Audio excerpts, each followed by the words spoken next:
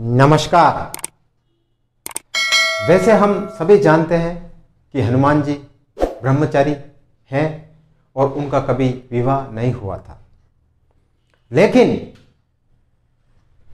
पराशर संहिता में एक कथा है जिसमें विशेष परिस्थिति में हनुमान जी का विवाह हुआ था। और विवाह हुआ था, फिर भी वो ब्रह्मचारी रहे। और इसका साक्षात उदाहरण आपको मिलेगा तेलंगाना राज्य के खम्भम ज़िले में, जहाँ हनुमान जी अपनी पत्नी सुवर्चला सहित विराजमान है। अब वो कथा क्या है, अभी अपन जानेंगे। एक बार पराशर ऋषि ने इस कथा में बताया कि हनुमान जी ने सूर्य देवताओं को अपना गुरु बनाया था।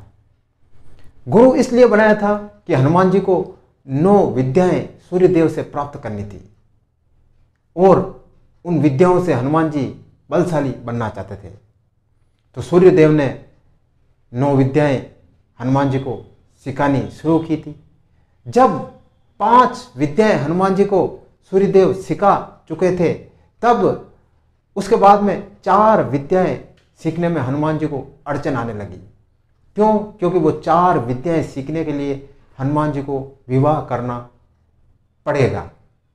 अब हनुमान जी के सामने समस्या ये उत्पन्न हुई कि वो विवाह किससे करें? इस समस्या को दूर किया सूर्य देवता ने। सूर्यदेव ने अपनी बेटी सुवर्चला से हनुमान जी का विवाह का प्रस्ताव रखा। सुवर्चला भी एक महान तपस्विनी थी। फिर हनुमान जी ने सुवर्चला से विवाह किया और हनुमान जी ने वो चार विद्याएँ प्राप्त की और ब्रह्मचारी रहे।